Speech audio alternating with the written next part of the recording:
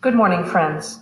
Today is the fifth Sunday in Lent, and I welcome you to worship. The grace of our Lord Jesus Christ, the love of God, and the communion of the Holy Spirit be with you all, and also with you. Let us pray. Almighty God, your Son came into the world to free us all from sin and death. Breathe upon us the power of your Spirit, that we may be raised to new life in Christ and serve you in righteousness all our days. Through Jesus Christ, our Savior and Lord, who lives and reigns with you and the Holy Spirit, one God, now and forever. Amen. The gospel lesson for this day comes from the Gospel of John, the 11th chapter. Now a certain man was ill, Lazarus of Bethany, the village of Mary and her sister Martha. Mary was the one who anointed the Lord with perfume and wiped his feet with her hair. Her brother Lazarus was ill. So the sisters sent a message to Jesus Lord, he whom you love is ill. But when Jesus heard it, he said, This illness does not lead to death. Rather, it is for God's glory, so that the Son of God may be glorified through it. Accordingly, though Jesus loved Martha and her sister and Lazarus, after having heard that Lazarus was ill, he stayed two days longer in the place where he was. Then after this, he said to the disciples, Let us go to Judea again. The disciples said to him, Rabbi, the Jews were just now trying to stone you, and are you going there again? Jesus answered, Are there not twelve hours of daylight? Those who walk during the day do not stumble because they see the light of this world. But those who walk at night stumble because the light is not in them. After saying this, he told them, Our friend Lazarus has fallen asleep, but I am going there to awaken him. The disciples said to him, Lord, if he has fallen asleep, he will be all right. Jesus, however, had been speaking about his death, but they thought that he was referring merely to sleep. Then Jesus told them plainly, Lazarus is dead. For your sake, I am glad I was not there, so that you may believe. But let us go to him. Thomas, who was called the twin, said to his fellow disciples, Let us also go, that we may die with him. When Jesus arrived, he found that Lazarus had already been in the tomb four days. Now Bethany was near Jerusalem, some two miles away, and many of the Jews had come to Martha and Mary to console them about their brother. When Martha heard that Jesus was coming, she went and met him while Mary stayed at home. Martha said to Jesus, Lord, if you had been here, my brother would not have died. But even now I know that God will give you whatever you ask of him. Jesus said to her, Your brother will rise again. Martha said to him, I know that he will rise again in the resurrection on the last day. Jesus said to her, I am the resurrection and the life. Those who believe in me, even though they die, will live and everyone who lives and believes in me will never die. Do you believe this? She said to him, Yes, Lord, I believe that you are the Messiah, the Son of God, the one coming into the world. When she had said this, she went and called her sister Mary and told her privately, The teacher is here and is calling for you. And when she heard it, she got up quickly and went to him. Now Jesus had not yet come to the village, but was still at the place where Martha had met him. The Jews who were with her in the house, consoling her, saw Mary get up quickly and go out. They followed her because they thought she was going to the tomb to weep there. When Mary came where Jesus was and saw him, she knelt at his feet and said to him, Lord, if you had been here, my brother would not have died. When Jesus saw her weeping, and the Jews who came with her also weeping, he was greatly disturbed in spirit and deeply moved. He said, Where have you laid him? They said to him, Lord, come and see. Jesus began to weep. The Jews said, See how he loved him? But some of them said, Could not he who opened the eyes of the blind man have kept this man from dying? Then Jesus, again greatly disturbed, came to the tomb. It was, and a stone was lying against it. Jesus said, Take away the stone. Martha, the sister of the dead man, said to him, Lord, already there is a stench because he's been dead four days. Jesus said to her, Did I not tell you that if you believed, you would see the glory of God? So they took away the stone. And Jesus looked upward and said, Father, I thank you for having heard me. I knew that you always hear me, but I have said this for the sake of the crowd standing here, so that they may believe that you sent me. When he had said this, he cried with a loud voice, Lazarus, come out. The dead man came out, hands and feet bound with strips of cloth, his face wrapped in a cloth. Jesus said to them, Unbind him and let him go.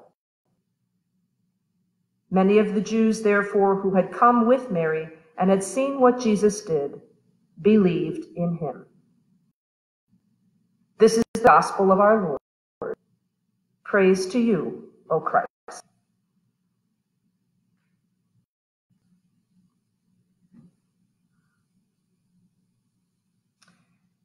If you know anything about the Apostle Thomas, you probably remember that he was one who, when the resurrected Jesus appeared to the disciples, he wanted proof that Jesus was really alive.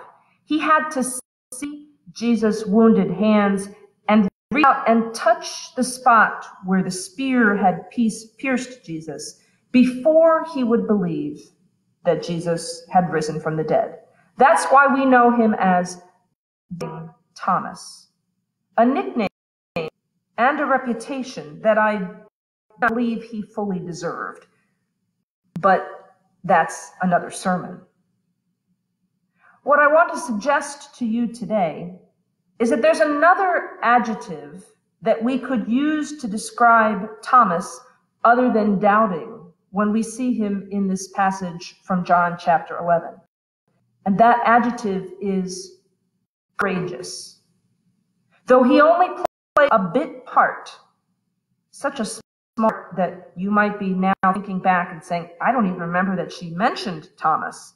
I did, it was very brief. Though he only plays a bit part, it is Thomas's example of courage that drew my attention this week in these days when we all face the dangers of COVID 19. Let's rewind to the beginning of the passage. Jesus had been ministering to the people from across the Jordan, and his disciples were seeing a great number of people coming to faith. When Jesus heard that his beloved friend Lazarus was ill, in fact, had died, he told the disciples that they were going to go back to Bethany. This must have been frightening for the disciples, since the Jewish leaders had been seeking to kill Jesus. And Bethany, being a, suburb of Jerusalem, if you will, a lot closer to where all Jewish leaders would have been. Seemed to the disciples both foolish incredibly dangerous to go back to Judea, to walk into a trap that would likely have led to the death of Jesus as well as his disciples. But Jesus had great compassion for his friends Lazarus and Mary and Martha, and he told the disciples that they had work to do and while they could. And this is where Thomas gets his one great line. In response, Thomas says, Let us also go, that we may die with him. You see, Thomas, like the others, was convinced that Jesus was heading straight for a stoning. But if that was what Jesus was determined to do, then Thomas was determined to go there with him, even if it meant risking his own life to do so. Whatever might have plagued Thomas later on, in this moment, he showed great courage in following Jesus. My friends, in this moment of our history, we are also called, like Thomas, to courage. Jesus is calling us to courageous action right now, calling us to follow him without fear through this pandemic. But let me be absolutely clear. What that courageous action will look like will be different for every person who hears my voice. Jesus may be calling us to stay in our homes, leaving for any reason in order to protect our health so that we may care for family members and others who depend upon us. Staying at home is an act of courage and sacrifice because we all know how much we need one another to stay strong. Staying home requires courage. Jesus may be called to overcome our fear and report for work because we provide a life-saving service in our community. Healthcare workers, emergency personnel, grocery store employees, delivery services, mail carriers, and those who are providing spiritual and emotional care in these days. For those who have those types of jobs, going to work is an act of courage and sacrifice. Whether we are working from home or stuck at home unable to work or venturing out while taking appropriate precautions, all of us need courage to follow Jesus in these days and not to give in to despair. And what is more, Jesus is calling to provide whatever aid we can to our neighbors in whatever way that seems safe to us. For those of us who are homebound, it could mean reaching out by phone or other, other electronic means to provide comfort to one another. It could be sending good old fashioned cards, letters to lift people's spirits. Could mean making donations to organizations who are on the front lines of fighting this pandemic. For those of us who are able to leave our homes, providing our aid to our neighbors might mean go to the grocery store to take care of our family's needs, perhaps picking up extra items for the food pantry, or shopping for a neighbor who cannot leave his home, or donating blood, or sewing masks for healthcare workers, or handing out food at a distribution site, or, and I heard this one on the news just yesterday. Do you remember the concept of a victory garden? I heard there's a movement afoot to begin planting victory gardens so that produce can be shared down the line. The economic danger we face might well outlast the viral danger. There are many more ways, I am sure. In fact, I watched a little segment of CNN while I was eating my breakfast this morning that talked about all of the things that people all across the country and in fact around the world are doing for one another. There are many more ways to answer Jesus' call to help our neighbors from wherever we are, sheltering or wherever we are cautiously and carefully interacting with one another. We just need to tap into a bit of Thomas's courage. And we can. We can respond courageously because we've got something that Thomas didn't have. We know the end of the story, not the end of the coronavirus story. None of us knows where the end of that will lead us. But we do know the end of life's story, and we know the end of Jesus' story. We know that Jesus' words of promise heard this morning, I am the resurrection and the life. Know that those words would be demonstrated as true for the whole world to see on Easter morning. And it's not just resurrection on the last day, as Martha supposed, nor is it just new life after we die. Jesus promises us resurrection life, new life, now. God offers us new wisdom and creativity for how to cope with the pandemic. God offers us renewed hope and will help us to learn new ways of offering life and health to others. God offers us of community, even though it is right now. God offers the strength of faith. And in the end, God has promised us eternal life. So go out if Jesus is calling you to go out, or stay in if Jesus is calling you to stay in. But wherever you are, be of good courage. We can be, because Jesus Christ is the resurrection and the life.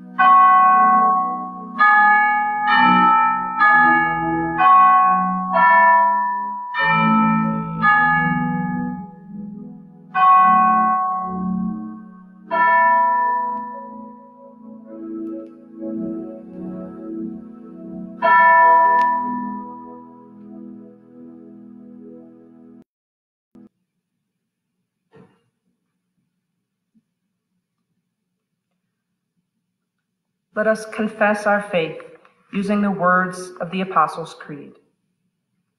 I believe in God the Almighty, creator of heaven and earth. I believe in Jesus, Son, our Lord, who was conceived by the Holy Spirit, born of the Virgin Mary, suffered under Pontius Pilate, was crucified, died, and was buried. He descended to the dead. On the third day he rose again. He ascended into heaven. He is seated at the right hand of the Father, and he will come to judge the living and the dead.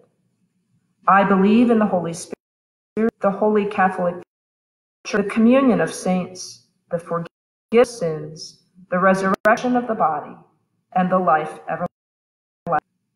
Amen. I received just a few prayer requests by email or phone this week, and I'd like to share them with you now. Please pray for the people of New York City.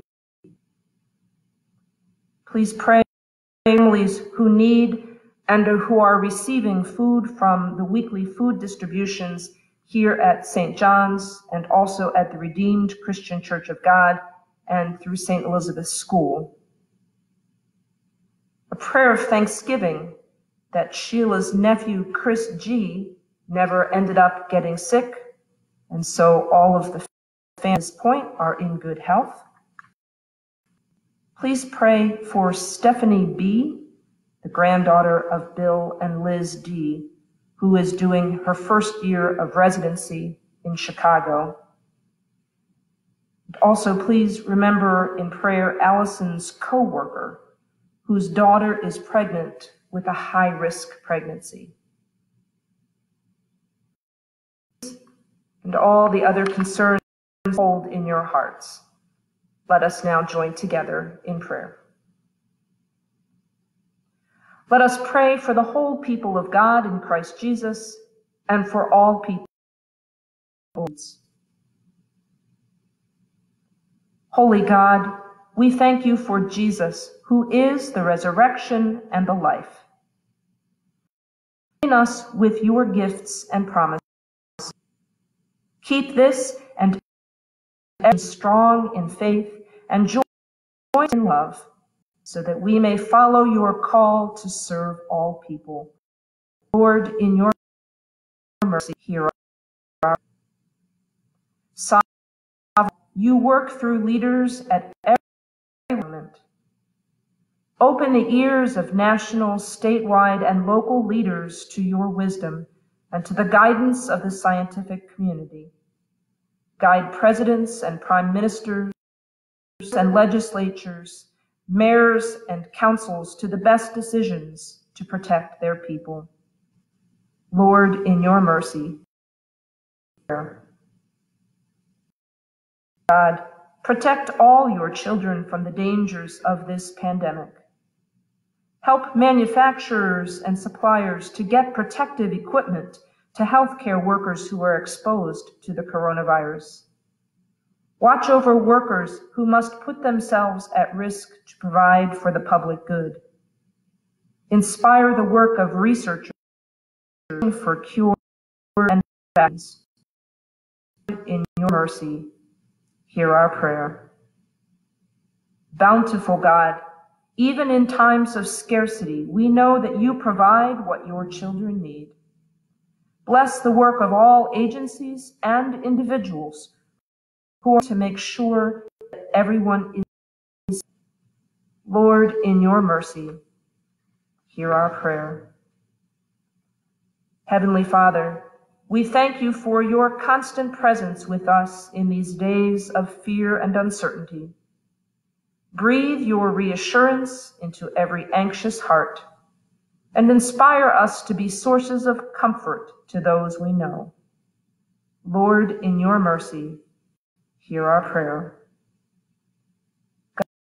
God and healing, hear our for all who are at high risk for contracting COVID-19 and all who have already been infected.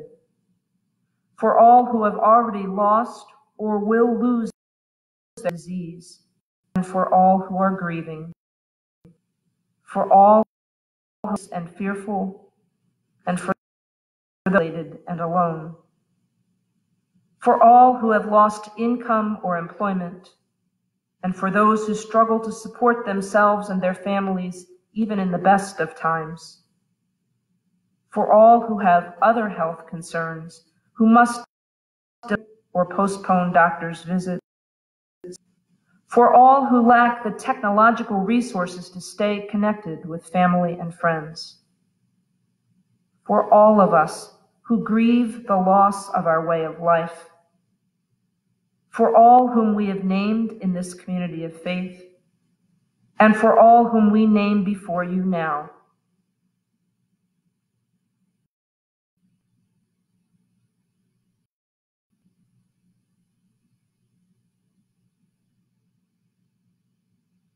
Lord, in your mercy, hear our prayer. Hear these and all our prayers, spoken and silent, as well as the words of prayer that Jesus taught us, saying, Our Father in heaven, hallowed be your name. Your, your will be done on earth and in heaven. Give us today our daily bread. Forgive us our sins as we forgive those who sin against us Save us from the time of trial and deliver us from evil. For the kingdom, the power, and the glory are yours now and forever. Amen. Before we end this live cast, let me share some announcements. Please continue to spread the word and worship resources both this Sunday morning service and also our daily noon prayer videos. And if you know of people who have internet access or a smartphone, but aren't necessarily familiar with Facebook, please reach out to them and help them get connected so you can find our resources.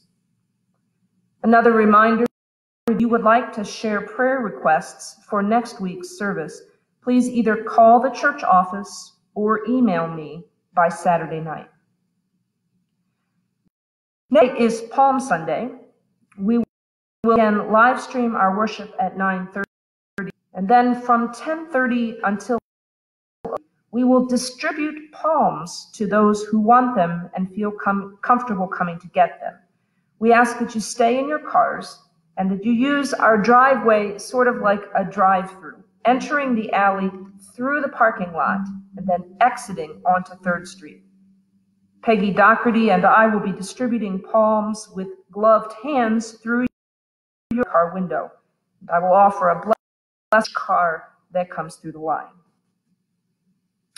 If you've been following us on Facebook, you'll know that the Whitehall Hunger Initiative distributed supplemental courses to 86 children seven senior households this week about half of which were distributed in the same drive-through system that I just described that we'll use next Sunday with the Palms.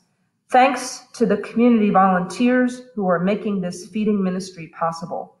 If you know of hungry children or seniors or a household in Whitehall who is having difficulty, invite them to come to the church on Thursday between 11 and 12 and 7 for food bag. Remember drop off donations pantry or for this supplemental feeding effort. Um, you can drop off food uh, on the front porch of the church Monday through Friday from 9 noon. Um, please call and let us know that you're dropping the food off so that we can pick it up it in and get it over to Fritz Hall. Finally, be gentle with one another. Give everyone the benefit of the doubt by believing everyone is doing the best that they can. And be yourselves. God sees that you are doing your best, and that God also sees that you are struggling, and that God will be with you through this time. The Lord bless you and keep you. The Lord's face shine on you and be gracious to you. The Lord look upon you with and give you peace. Amen. Go in peace. Keep the faith. Thanks be to God.